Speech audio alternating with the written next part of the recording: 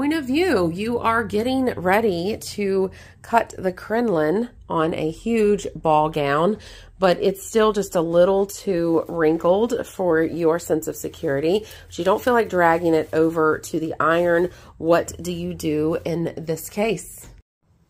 This is why I like an extra long hose on my iron. I can just bring it over and I can steam on the table. Instead of taking the dress to the iron, make the iron come to you.